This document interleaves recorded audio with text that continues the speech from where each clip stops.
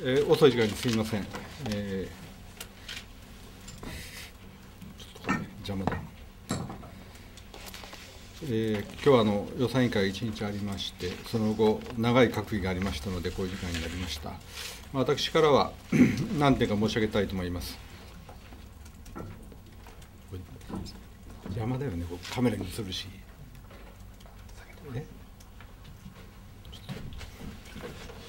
えー、まずあの私から第1点はですね、ハイチにおける地震被害に対する緊急無償資金協力、まあ、今日の閣議で、えー、決定したものであります。えー、25日に我が国政府はハイチにおける地震による甚大な被害を踏まえ、えー、追加的支援の一部として、2000万ドルを上限とする緊急無償資金協力を行うことを決定いたしました。この追加支援は、現地時間25日にモントレオで開催された配置支援に関する閣僚級会合において、竹政副大臣より表明した7000万ドルの支援に含まれるものです。これら支援策は各国より高い評価を得ました。今後ともハイチの復興支援に、向けて、我が国の地球を生かした支援を国際社会のと強調して行ってまいります。それから2番目はですね、これも先ほど 関係閣僚委員会で行ったものでありますが、国連気候変動枠組み条約事務局に対する、まあ、我が国の目標提出ということであります。えー、もう総理の方からご発言ありましたので、まあ、私から重ねて申し上げることは避けたいと思いますが、えー、1990年比で、えー、2020年までに温室効果ガスの25%削減するという目標を提出することを確認したものであります。ただし、まあ、その際に、す、べ、ての主要国による公平かつ実効性のある国際枠組みの構築及び意欲的な目標の合意を前提とするという条件をつけて、えー、提出するものであります。えー、今日在ドイツ大使館を通じて条約事務局に我が国のこの目標を提出する予定でございます。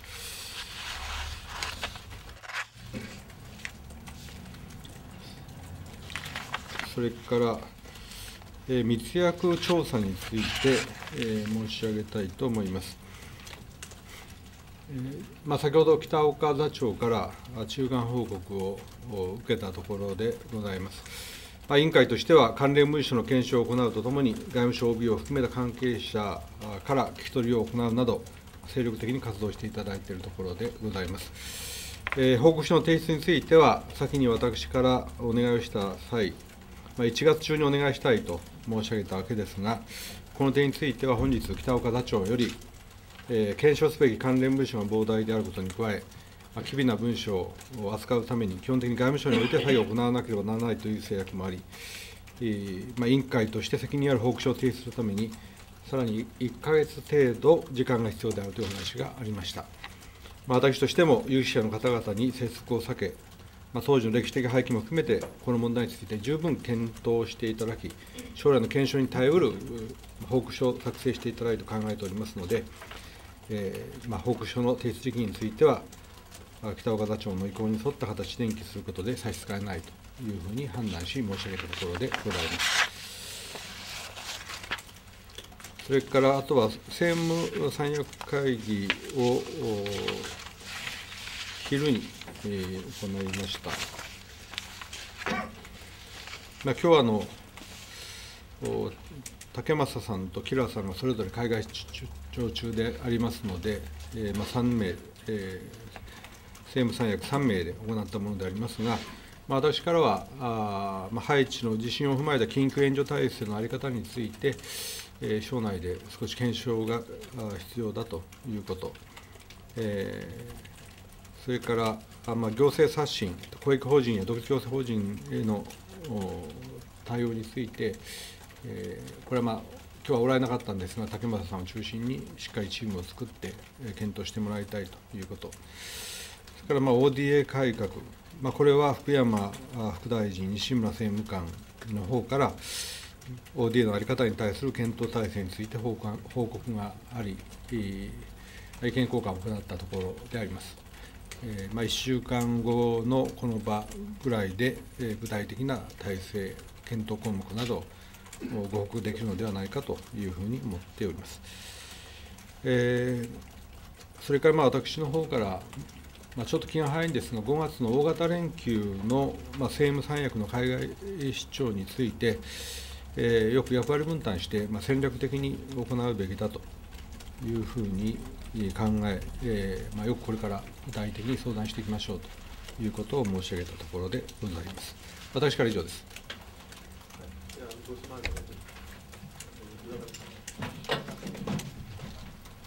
えー、フリーの岩上です。誰だって。あ、よろしいでしょうか？はい。あ、フリーの岩上です。あの先日、えー、名護市長選が行われまして、えー、移設辺野古への移設反対派の反対を唱えている、えーまあ、候補が、えー、当選いたしましたけれども、えー、これによって、えーまあ、より、えーまあ、辺野古案ではなく、えーまあ、他の地域もしくはその県外の候補を探さなければいけないというですね、えー、まあ、探す必要性が高まったのではないかなというふうに思われるんですけれども、えー、まあ、政権内部でのその温度とそれからまたあのアメリカの意向といいますか受け止め方の度合いみたいなものをですね感触を教えていただければと思います。アメリカの考え方は特に承知をしておりません、えー、それからまああのこれは、まあ、確かに一つの争点になりましたので、えーまあ、そういう意味で一つの民意の表れだというふうに思いますが、えーまあ、この普天間代替施設の問題は基本的に国が責任を持って決める話であります。ま、そういう意味ではあ、ま、今、検討委員会でゼロベースであらゆる可能性を含めて検討しておりますので、えーまあ、今回のことは一つの出来事ではありますが、あまあ、だからあ可能性がなくなったというふうには考えておりません。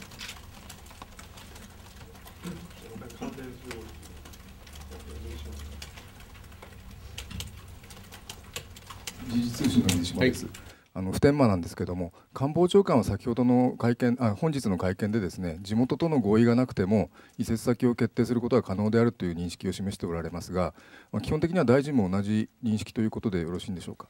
まあ、これはそういうふうに言ってしまうと、何か地元を全く無視するような印象を与えますので、まあ、あの表現をよく気をつけなければならないというふうに思います。えーなるべく地元のご理解を得るための努力ということも必要だと思いますし、まあ、どこに決まったというわけではありませんので、えどこに決まったとしてもですね、えその地元の理解を得ると、まいうことは必要だと思います。ただ、法的に言いますと、まあ、例えば埋め立てをすると、海岸を埋め立てするということになれば、これは知事の権限ということに関わってまいりますけれども、えーまあ、法的に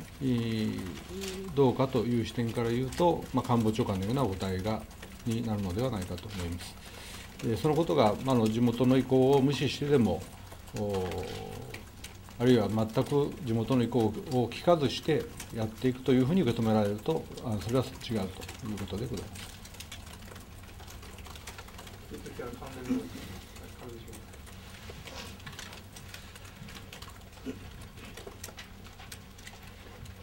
共同通信上西からです。あの同様の質問なんですけれども、えー、普天間問題がですね、まあ、十何年間、まあ、なかなか前に進まなかった一つの原因としてやはりあの沖縄の中の、えー、県内移設への反発というものを、まあ、政府がある意味見誤った部分というかですね、えー、過小評価した部分があるんではないかとも思うんですけれどもあの今後のその移設先を決めるにあたって、まあ、地元の合意まあ、今回の市長選挙はまあ一つの争点になったということですが新市長は明確に移設に反対という意思表示をまあしていると思うんですけれども地元の合意というのはどれどの程度重要だというふうにお考えでしょうか？まあ、あの具体的に場所があの決まったわけではありませんので、あまり仮定に基づいて議論する必要は、まあ、私はないと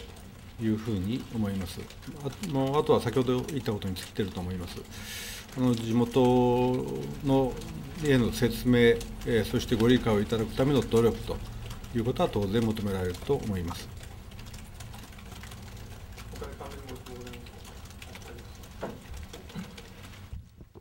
どうも、琉球新報の滝本です。えー、関連しましてあの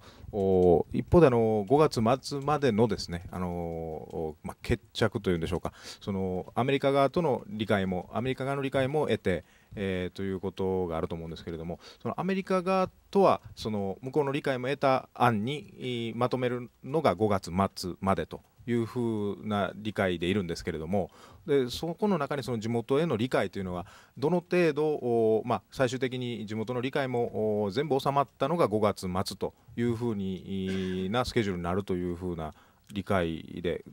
大臣はどのようなご理解でいらっしゃるんでしょう？か。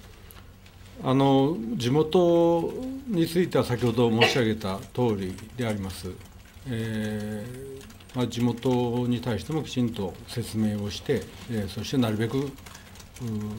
理解をしていただくための努力をしなければいけないというふうに思います。まあ、そういうことも全体含めて、まあ、政府として決めるのが5月末ということであります。アメリカ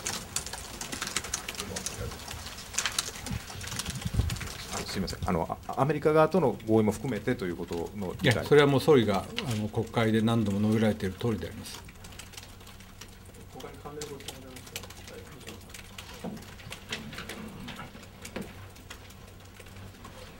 え共同通信社の西田です。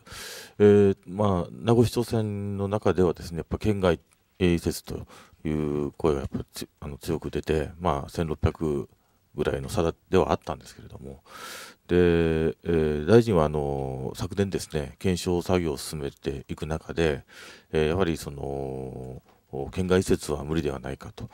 でまあ、それは抑止力の観点ということだと思うんですけども、えー、まあ、1月の名護市長選という一つの節目を超えたあ今ですね、え、やはり県外移設は難しいのではないかという認識にお変わりはないでしょうか。まあ、今、検証委員会であの議論しているところですから、まあ、私が何か申し上げるのは適当ではないというふうに思います。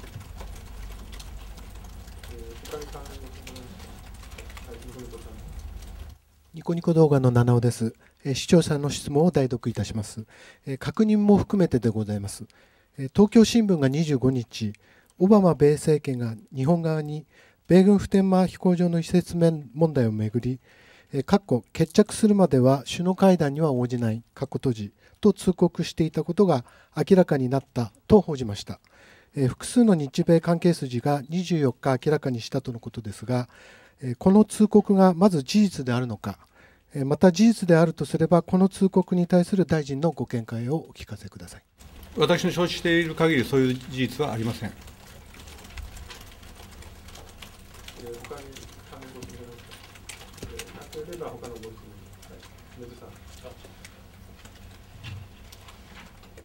あすみません、NHK のです。えーと、アメリカの国務省のクローリー次官補があくまであの普天間の移設に関してはアメリカの立場は変わらないということを、えー、申し上げてあおっしゃってまして、でキャンベル国務次官補も同じようなことを言っているわけですけれども、改めてそのアメリカの立場がこの変わらないという中、5月末までというデッドラインがある中で、どのように今後、アメリカと交渉していくのかと、特にあの来来週あの、キャンベル国務次官補が来日されるということで、その辺についてどういった話し合いになるのかという見通しについてお願いします、うん、アメリカのあの主張は一貫しているわけですから、あまあ、そのことが繰り返されているということであります。まあ、それを超えるようなあ、まあ、新しい案があ見つけられることができるかどうか、そして地元も含めて、えーまあ、それを政府としてですねきちんとアメリカ側に提示できるところまで持っていけるかどうかということが、あまあ、問われているということであります。引き続きまだフーマンご質問ございますか。はい、内容で他のご質問の方。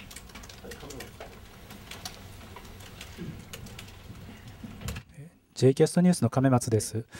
えー、と密約調査についてお伺いします。あの先ほどあの北岡座長から中間報告があったということですが、あのまあ、どのような内容であったのか、えーと、もし教えていただける範囲であれば教えていただきたいと思います。あの残念ながら中身はお話ししない方がいいというふうに思います。あの私も逐次話は聞いておりますし、まあ、今回、北岡さんからも話いただきましたので、承知はしておりますけれども、それはきちんと報告書がまとまった段階でお話を申し上げたいというふうに思います。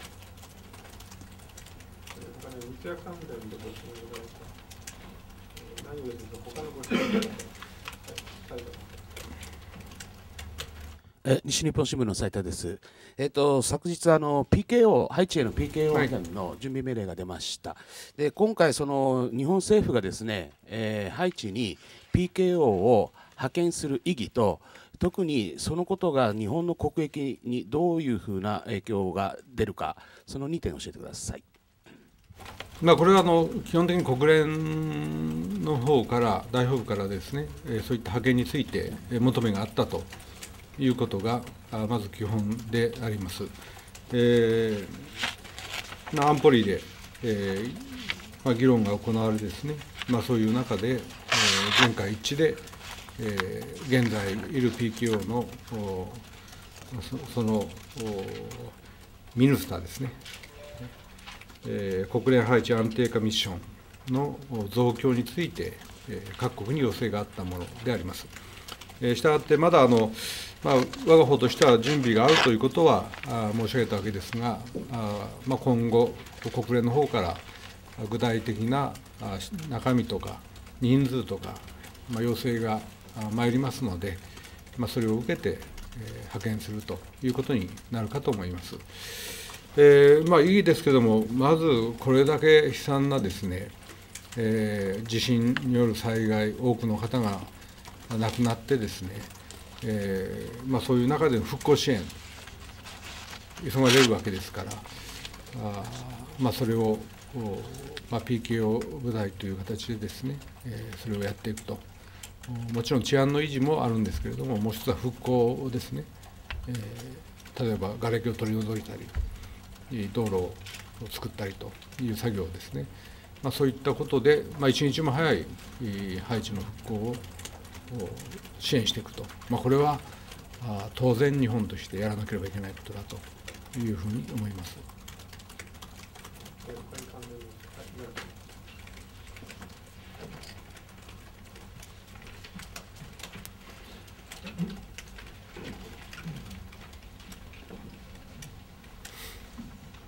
朝日新聞の五十嵐です。引き続き、ハイチの PKO についてお伺いします。えー、今回のハイチの PKO の派遣にあたってはですね、えー、これまでその日本の自衛隊の PKO 派遣というのは、えー、PKO 法に基づいた5原則 PKO 派遣5原則に基づいて、えー、派遣されてきたんですけれども、えー、今回はその紛争地帯というか紛、えー、武力紛争が、えー、ないということで、えー、そのまあ、5原則とは別の基準というかに基づいて、えー、出されたというふうに、えーなっていると理解しています。でこれは初めてのケースだと思われるんですがかねてからその岡田大臣は PKO のに対する派遣というものに積極的だったと思われますがこういう形での派遣ができるということでですね、えー、他の PKO への派遣というものがさらにこうスムーズに運ぶことになるのかそういった見通し、どういうふうなお考えをお持ちかということについてお聞かせくださいまずあの、基本的考え方として、これは PKO 法に基づく派遣でありまして、5原則を満たしているという上での派遣であります。え紛争の停止、例えば、まあ、これはあのそもそもそういう意味での紛争がないハイチの PKO の場合はですね。ということですので、えー、そういう意味で、えー、最初からないという意味で、あの紛争停止についての、まあ、合意があるということは満たしているというふうに考えられます。まあ、そういう形で5原則をきちんと満たしているという前提で出すものであります。えー、もちろん紛争地帯そのものではない、まあ、治安が非常に悪くて PKO 部隊が派遣されていたということですから、えーまあ、いくつかの勢力が相争うという意味での、まあ、そういう形での典型的な PKO とは違いますが、しかし、あくまでも PKO に基づいて、要件を満たすという前提で派遣するものであります。えーまあ、それを、まあ、私はそういう PKO 法に基づく派遣というものは、より積極的に行うべきだというふうに、従来から申し上げておりましたので、まあ、今回、この配置もありますが、えーまあ、それ以外も含めてですね、まあ、いろんな可能性を検討しているという状況であります。えーまあ、PK 法の見直しそのものの議論は、あまあ、今、さまざ、まなあ検討を行っておりますが、具体的にすぐ法案の形にして出すというところまで煮詰まっているわけではありません。この国会に出す、そういう予定はございません。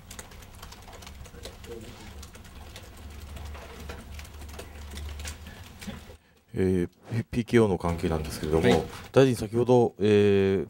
復興支援と同時にですね治安維持についてもですね言及されました。でまあ、あのいわゆる本体業務と言われるですね、えー、領域に入ってくると思うんですけれども、もちろん国連の方がどのようなあ要請を日本にしてくるかということに、えー、なるんでしょうけれども、えー、瓦礫をですね、えー、片付けたりするような復旧作業ですね、そういったものがメインになるということなのか、それともですね他の他国の PKO がやっている治安維持というふうなところにもですね、えー、自衛隊が出ていくと、そういった可能性もあるんでしょうか。まあ、あの中身はまだですね、えー、具体的に決まっておりませんので、あまりあのこれはこうだとかああだとか言わない方がいいと思いますけれども、えー、十分に連立3党の中で調整をして、えー、そしてまあ、国連に対して出す用意があるというふうに申し上げたところでございます。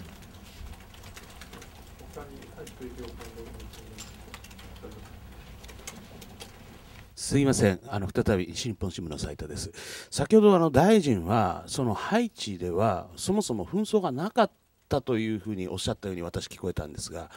あのそうしますとあの確か、えー、まあ、いわゆる地震が起きる前ですね PKO が入ってた、えー、これはじゃあのなぜそのその PKO が入ってたと。つまりその紛争がなかったという認識をもう少しあの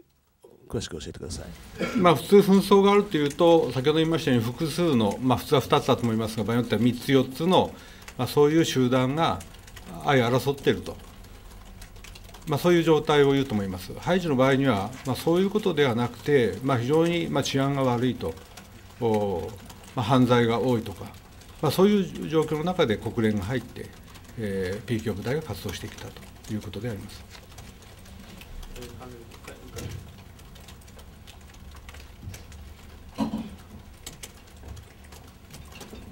すみません、あの朝日新聞の向井です。あのちょっと細かい法律解釈の点で恐縮なんですけれども先ほどあの5原則との絡みなんですが、えー、PK 法の中で、えー、紛争が武力紛争がそもそも起きていない場合というのは、えー、紛争の停止の合意というのが必要ではなくて当該国の同意により派遣ができるという括弧書きの正し書きみたいなのがありまして我々の解釈としては今回その解釈あのその括弧内の表現条文を用いて派遣されたというふうに理解していましたつまりその5原則が、え、の適用除外になるケースだとその紛争の停止の合意とかですねその部分があ適用されなくなるケースというふうに理解していたんですけれども先ほど大臣のご答弁だとお話だと少しちょっと違うように思ったんですが。まあ、それは5原則のうちの第一の原則ということで、どこまで読むかということだと思いますけれども。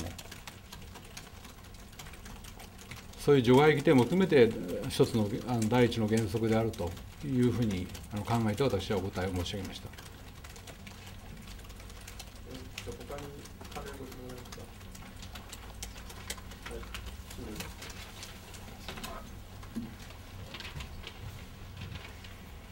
せんテレビ朝日のシンボルです。あの先ほど、えーと、北澤防衛大臣があの記者会閣議後の記者会見でですねあのこのハイチに PK を出すことについて、え特にアメリカの玄関口みたいなところですからアメリカ世論にも非常にいい感じで受け止められておるようですというふうにアメリカへのことをちょっと配慮した発言をされたんですけれども今回非常にスピーディーにこう決まった決断の裏にはそういったことも大臣あるというふうにお考えでいらっしゃいますか？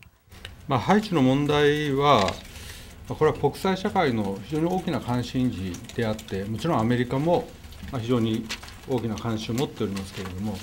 それだけではなくて、ヨーロッパの国々も、あるいはアジアもですね、あるいはヨルダンなんかも、PKO についてもうすでに手を挙げておられますし、ま、世界的な大災害であるという認識ですね。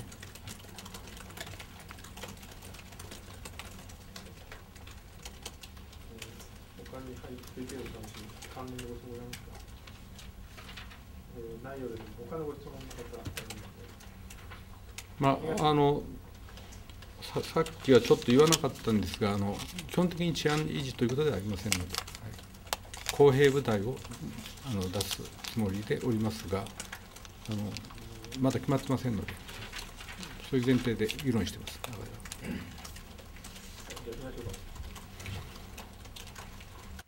朝日新聞の東岡です、えー、先ほどあの大臣あの総理のところに佐伯局長と入っておられましたけれども、まあ、どういったご用件でどういう話をされたのか差し支えないでお教えていただけますか、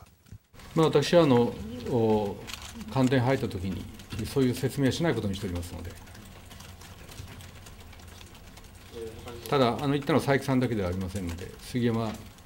地球審も行きましたのでさまざ、まな案件についてご報告したというふうにお考えください。東京新聞の佐藤です。あの民主党の小沢代表のあ小沢幹事長の問題についてお伺いします。あの23日に小沢さんのあの資金管理団体の政治資金規正法事件あ違反事件で、えー、小沢さんが特捜部のあの事情聴取を受けました。小沢さんはあまあ競技えー、虚偽記入についてはま一切関与してないと、ゼネコンからの裏献金も会見などで否定しておりますが、岡田大臣はこの、えー、小沢さんのです、ね、説明、どう聞かれたか、疑惑は晴れたとお考えでしょうか？まあ、これはあの検察があ話を聞いて、まさしくそういうレベルの話になっておりますので、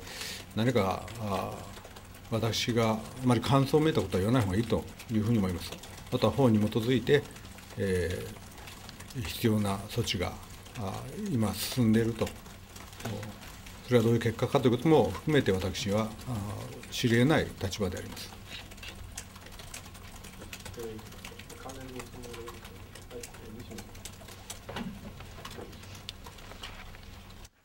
しつこくて申し訳ありません、共同西野です。ただですね、えー、民主党は、まあ、企業団体献金をですね、えー、もう、まあ、一定の猶予期間を置きながらですね、全廃していくと。いうことをですね、えー、まあ、選挙前に決めですねでそれがま有権者にかなりですね、えー、民主党のクリーンさというのをアピールしたという面もあると思います。で今回のですね、まあ、まさに争いのあるところではあるんですけれども、まあ、企業献金がですね裏献金という形でもし渡っていたとすればですね民主党の方針とが掲げた、まあ、理想とはですねかなり離れてしまうというふうなこともあると思うんですね。でそういった意味で言うとまあ、何らかのですねその、まあ、事情能力というかあるいはあのを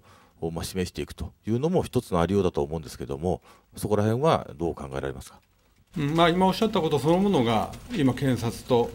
そして、えー、小沢幹事長の間で、えー、事実関係が争われているというふうに思います、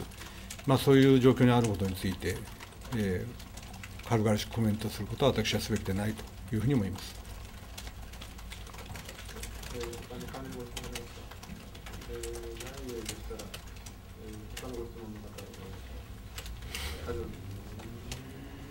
すみません、大臣、あの NHK の梶原ですが、あの今日のあの閣議で決定された答弁書なんですけれども、えー、核兵器に関しての答弁書が出たと思うんですけれども、えー、この中でその、まあ、当時の外務大臣の了承を得て、まあ、我が国政府の考え方をまあ説明したというくだりがあるんですが、あの年末にあの大臣があのクリントン長官にお出しになった書簡と、まあ、内容によっては矛盾するのかなとも思うんですが、具体的にどういうふうな説明をされたのかと。で日本政府としてはその、まあ、トマホークのもう帯域などについてやはりその、まあ、場合によっては、まあ、懸念をするというような立場を取っていらっしゃるんでしょうかあの中身はちょっと申し上げるべきじゃないと思いますけれども、まあ、あの質問主書に書いたことと私の手紙は矛盾をいたしません。私の手紙にそのトマホークについて議論したことを私は否定しているものでは必ずしもないということはよく手紙を注意深く読んでいただければ分かることだと思います。むしろ私はあのもしトマホークがなくなるということであればあの説明を求めるということも言っているわけですね。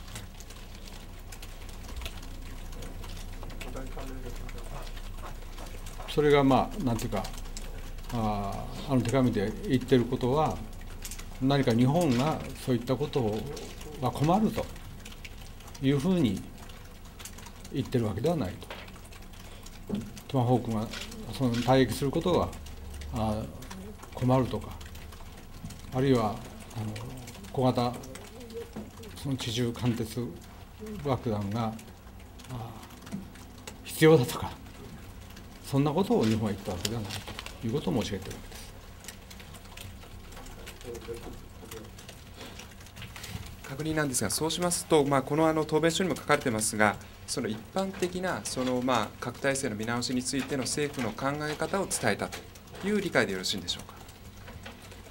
うか？あの私が先ほど言ったことに尽きているというふうに思います。それ以上の、そしてその閣議で今日決まった質問収集の答弁、そのことに尽きておりますので、それ以上のことは申し上げるつもりはありません。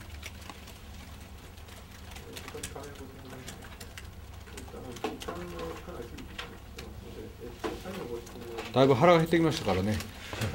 急いで進みましょう。はい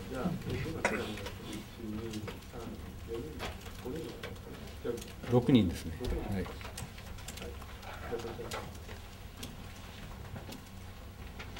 すいません、あの南日本新聞の谷上と言います。あのいや鹿児島県の屋久島空港であの低空であの侵入してくるローアプローチをあの正体不明の飛行機があの繰り返している問題についてあのアメリカ側があの機体が米軍機であることを認めたという新聞報道がありました。まあ、これについてあの日米地域あの日米合同委員会合意の中ではあの民間空港の場所を安全かつ実際的な形で回避するという合意があります。であのこれについて屋久島空港の上空を飛行についてはあの抵触する恐れがあるというあの外務省に対して米側があの訓練はあの民間空港へ出入りする権利などを認めた5条を根拠に訓練は問題ないというあの見解を外務省に示したということです。これについてあの、まあ、あの大臣のご所見と今後そのいわゆるあのこうした訓練をしないように求めるお考えがあるのかどうかお聞かせください。あのよく協議していきたいと思います。それ以上のことはあまりこういう場で申し上げるべきじゃないと思います。協議する場があるわけですから、総力協議していきたいと思いますし、まあ、アメリカ側の説明も聞いていきたいと、その理由をですね、よくより聞いていきたいというふうに思います。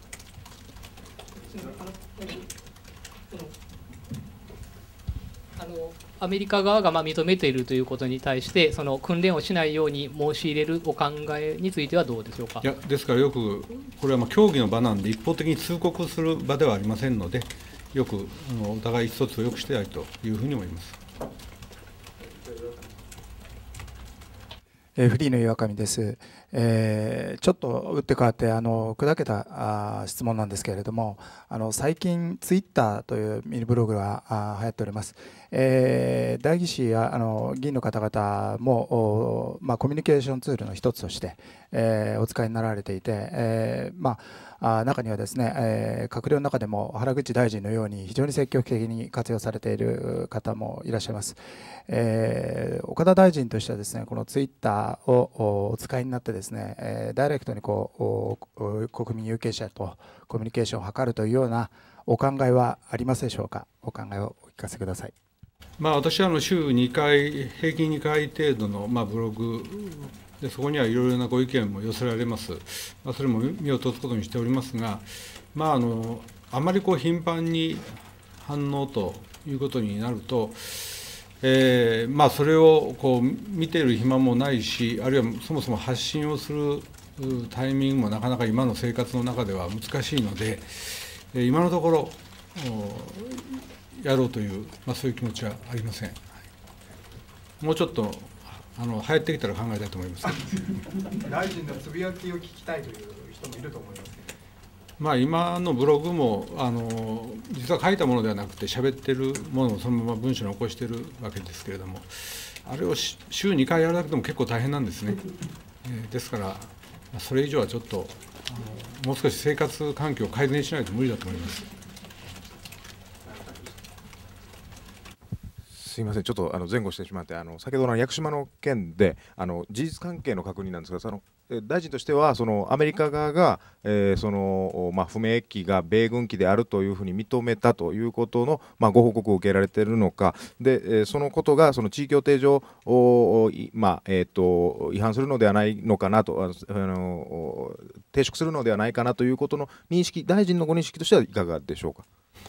まあ、あのそういうことをこの場でいきなり言うのではなくて、やっぱり協議の場があるわけですから、やっぱりそういうところできちんと議論すべきだと、まあ、私は基本的にそう思います。事実関係の米軍機としての米軍機だということも認めたということもいや、それは承知してます。はい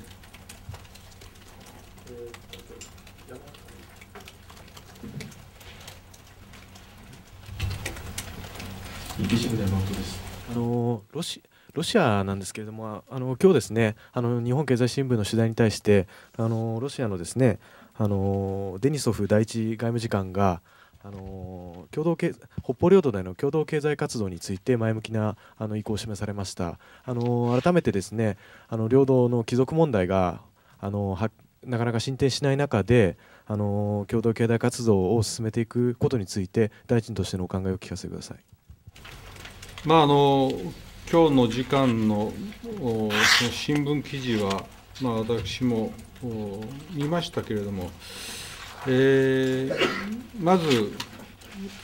その日露戦略対話の場で、まあ、そういう意見は特に出ておりません。え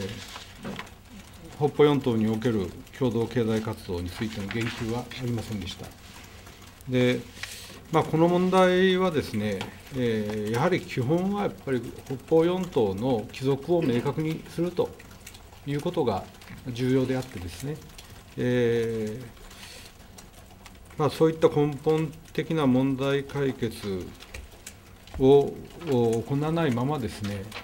えー、その4島についての共同経済交流、経済活動というのはですね、まあ、法律的にも非常に難しい問題を見ますし、必ずしも私は前向きというふうには私自身は考えておりません。もちろんあのそれ以外のこう例えばシベリア東部とか極東での経済協力といいますか経済交流といいますか、まあ、そういうことは車の両輪としてこの領土問題の交渉とこの経済の問題というのを車の両輪として進めていくということについては当然私はそうすべきだというふうに考えておりますけれども、まあ、北方四島における経済交流ということに対しては私は慎重であります。ニコニコ動画の七尾です。視聴者の質問を代読いたします。え中国製冷凍餃子問題についてお伺いいたします。え昨年12月31日の日経ネットニュースによりますと、中国公安当局が専従捜査班の人員を百数十人規模から十数人規模に縮小していたことが中国公安関係者の話で分かったとのことです。えー、今月30日で発覚から2年となります本件に関する現状認識と今後の対応についてお聞かせください。質問に対して短く答えると第二の質問が飛んでくるわけですね。今、えー、まあ、それはいいんですけども、まあ、あの私も人事異動があったというふうには聞いてますが、大幅に縮小したかどうかというのは、私自身は確認しておりません。えーまあ、この前、楊潔チ外相が来られたときに、まあ、この問題も少し議論しようと思ってたんですが、まあ他の問題に時間を取られてですね、えー、そこまで、えー、なかなかいかなかったんです。で非常に前向きな話としては、あ日中間で、えー、そう食の安全に関する、まあ、話し合いをやっておりまして、まあ、かなり話としては煮詰まってきております。まあ、それを一つあのができればですね、えーまあ、消費者のから見て安心できる材料かというふうに思います。まあ、もう一つは、まあ、私あの、時間があれば外相にぜひ言おうと思っておりましたのは、うんまあ、最近その、中国に対する、まあ、こういうそのどのぐらい好意を持ってるかという、まあ、どっかで私、調査を見たんですが、かなり上がってるということであります。ただ、男女別で見ると、女性の高緯度あのその好感度は男性に比べると低いとでそれはやっぱり餃子の話が聞いてんじゃないかと、まあ、そう言おうと思ってたんですがそういう時間がありませんでしたので、えー、まあそういうことを考えてもですねやっぱりこの問題きちんとこれ中国にとって、えー、きちんとした方がいいというふうに私はあの従来から申し上げているところであります。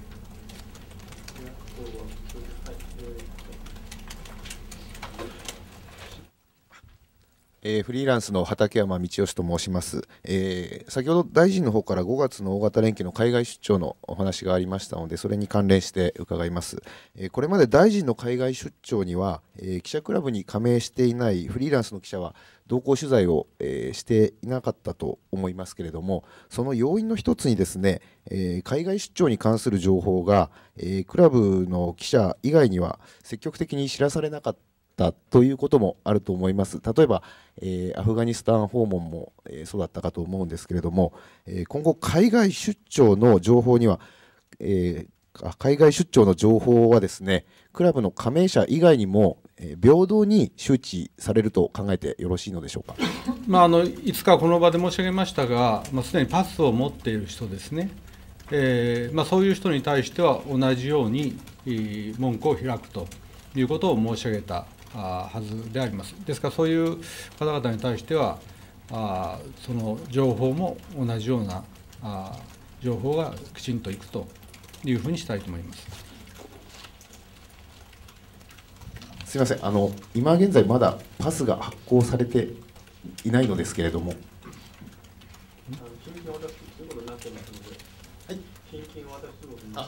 はい、わかりました。あの中旬というふうにあの聞いておったものわった後でご紹介します。わかりました。えー、以上でよろしいですか。よろしいですか？はい、じゃあ、あのお疲れ様でした。